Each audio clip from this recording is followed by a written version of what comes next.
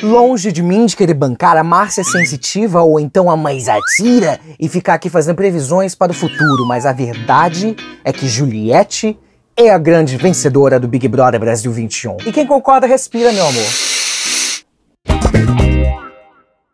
Se você é hater da Juliette, esse vídeo não é para você. Chegou o dia inevitável em que Juliette foi mandada para o paredão da casa.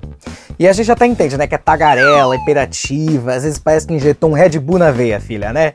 E realmente ela tem incomodado alguns brothers dentro do programa. A gente já esperava pela indicação dela.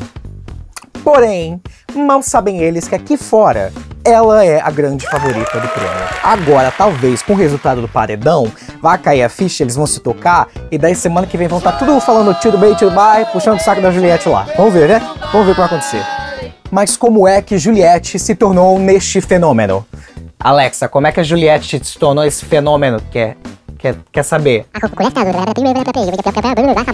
Deixa pra lá, gente. A gente tem uma teoria e a gente quer compartilhar com vocês. Se você já assistiu a qualquer edição do Big Brother Brasil, ou a uma novela do Você Carrasco, ou então uma novela estelada por Thalia, você sabe que não há nada mais cativante para o público do que uma mocinha excluída, perseguida, batalhadora, mas que tem um carisma gigantesco.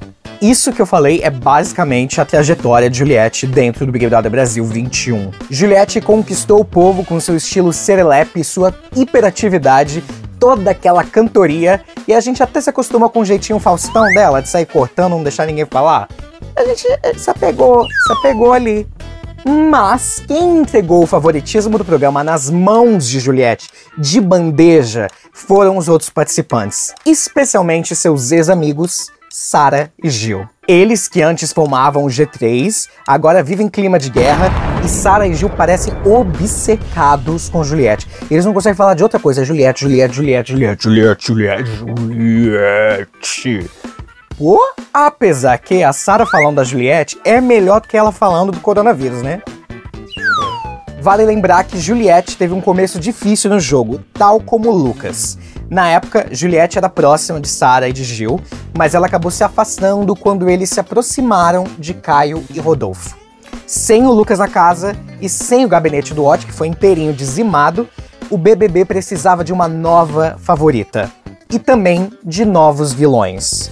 Porque é assim que se faz a história, né, gente? É assim que é, que é dramaturgia mesmo. E foi aí que a trajetória de Sarah tomou uma virada à direita e Juliette seguiu em frente, abrindo seu caminho para a vitória. Vai, Juliette!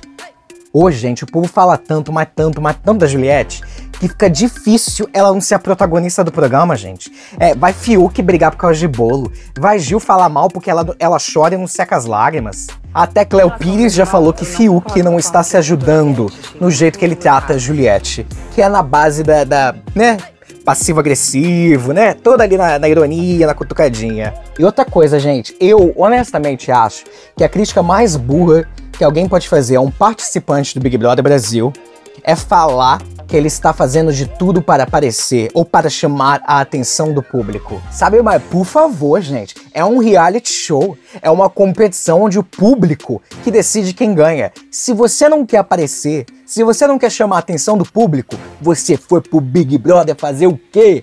Meu filho, volta pra casa. Ah, palhaçada.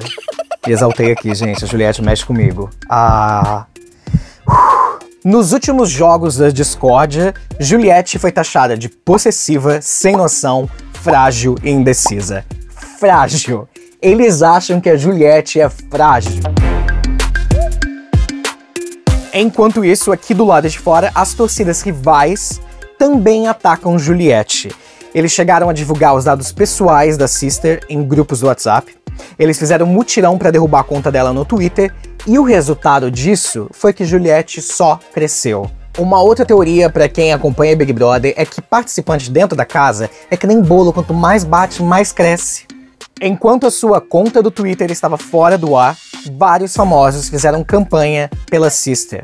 Juliette ganhou o apoio de Tata Werneck, Débora Seco, Wesley Safadão, Bruno Galeasso, Bruna Marquezine, Maísa Silva e por aí vai. Inclusive, Lucas Penteado, que marcou a primeira semana do programa, também disse estar torcendo pela Sister. Daí vocês devem estar pensando que a gente exagera ao dizer que a Juliette já ganhou o programa. A gente exagera mesmo, porque o programa ainda tem muito chão pela frente, né? Enfim, mas vamos aos números? Até o fechamento desse vídeo, Juliette tinha alcançado a marca de 17 milhões de seguidores no Instagram e se tornado dona de uma das 30 contas mais relevantes de todo o mundo. E hoje em dia, seguidor é dinheiro.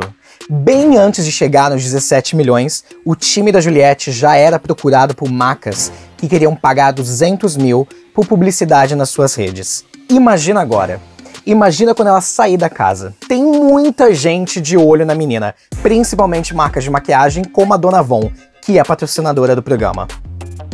Além disso, aquela cantoria toda de Juliette também lhe rendeu convites. Maiara e Maraísa, Maria Gadu e até Chico César disseram que querem cantar com a Sister quando ela sair do programa. Ou seja, os haters podem falar o que quiser, pode ficar xingando a Juliette, fazendo o que for, mas ela já ganhou o melhor que o Big Brother Brasil pode oferecer, e não é o prêmio. A gente segue ansiosíssimo para saber como é que os outros participantes vão reagir quando perceberem ou descobrirem a verdadeira força de Juliette dentro do programa. E se você gostou desse vídeo, não esqueça de deixar seu like, de se inscrever no canal e mandar para todos os amigos. Eu sou Renan Botelho e até a próxima.